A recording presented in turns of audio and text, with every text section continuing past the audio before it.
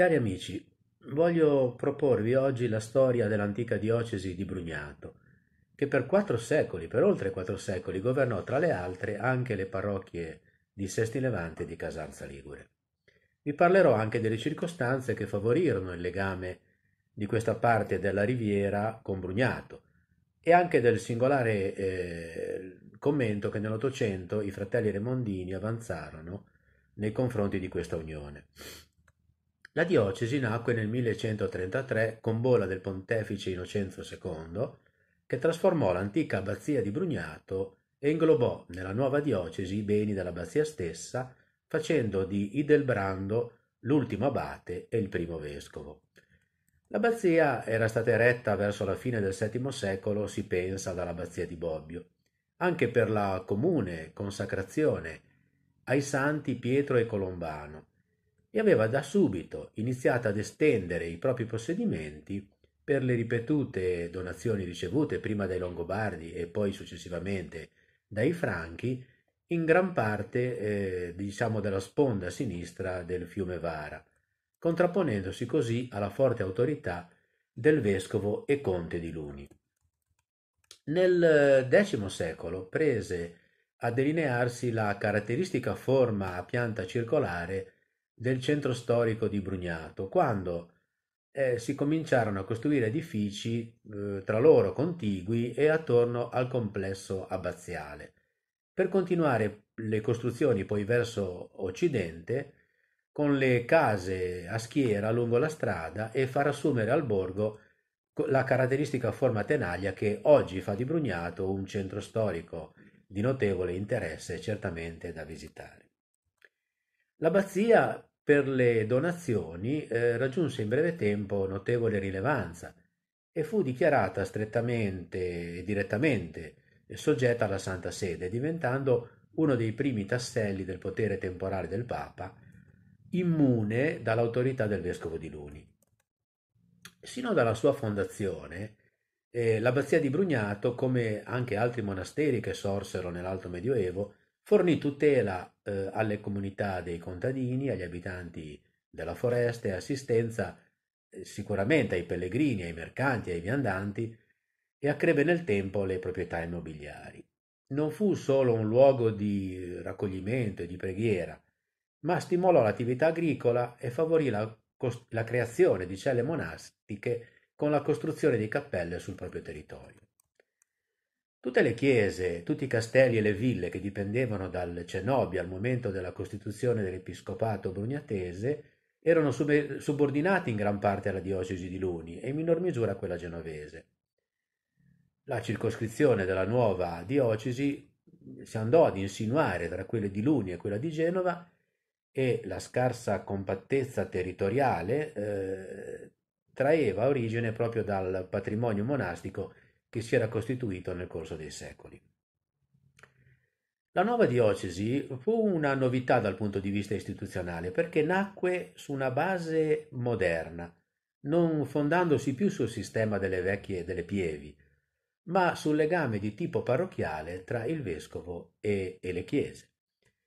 Eh, la costituzione della diocesi di Brugnato, che fu posta sotto la giurisdizione di Genova, ebbe motivazioni di carattere politico Infatti tra le repubbliche marinare di Genova e di Pisa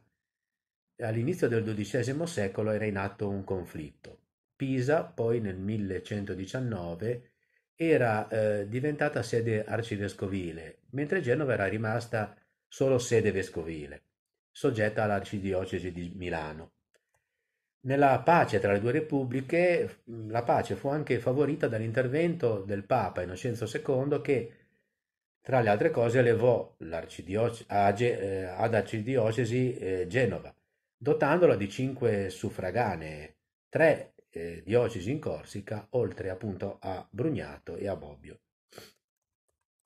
Nel 1519, mentre vescovo di Brugnato era Filippo Sauli,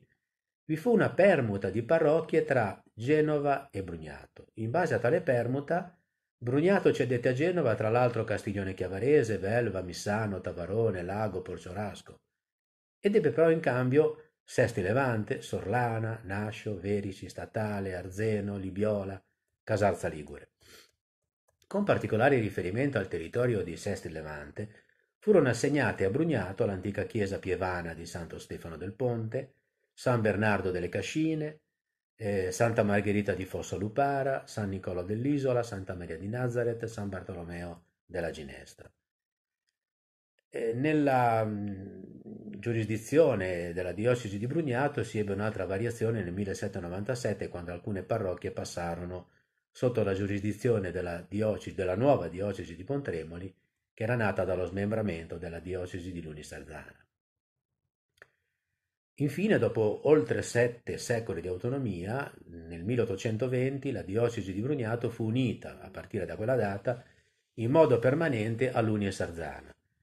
Il Papa Pio VII, su istanza del re Vittorio Emanuele, sancì l'unione delle due diocesi che, erano, che furono definite entrambe ugualmente importanti sotto un unico vescovo, approfittando della vacanza che era ormai decennale da, della sede a causa della morte del vescovo Giovanni Luca Solari. L'unione fu anche determinata eh, dalla povertà della mensa vescovile che non consentiva il mantenimento del vescovo e anche dall'esiguità eh, degli abitanti.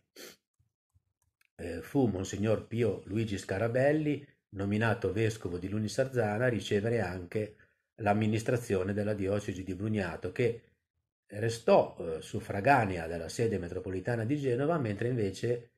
quella di Luni Sarzana era soggetta alla Santa Sede.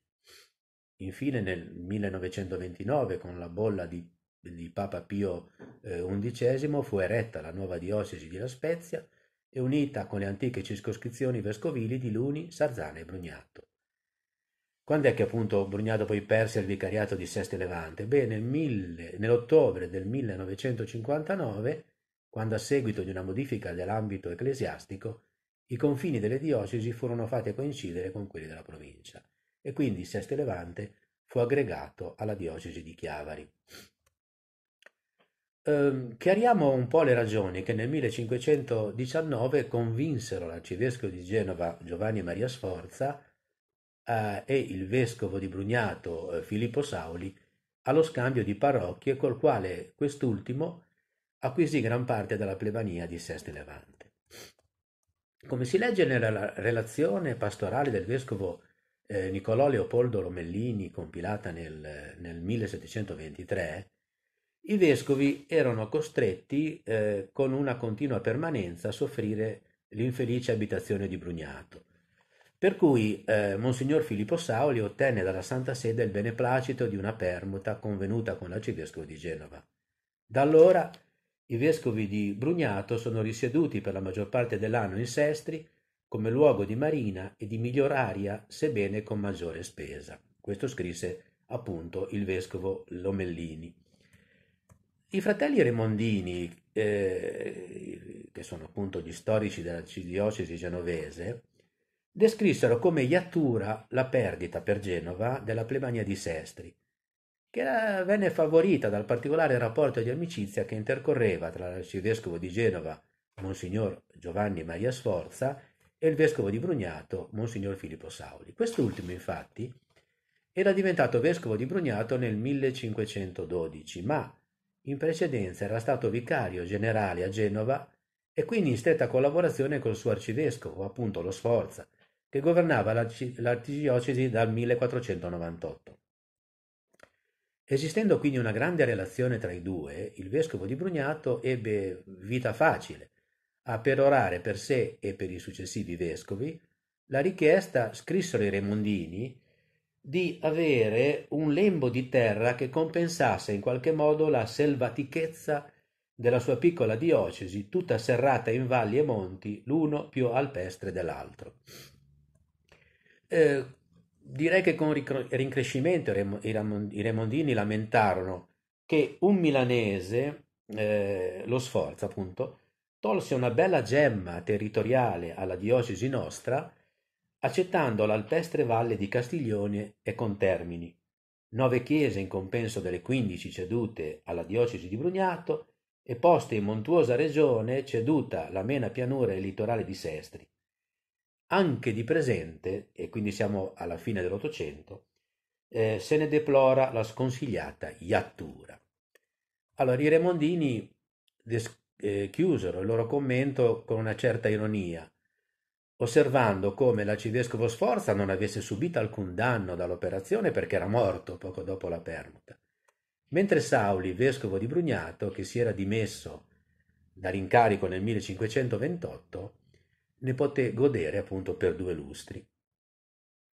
Vi ringrazio, un caro saluto, arrivederci alla prossima storia.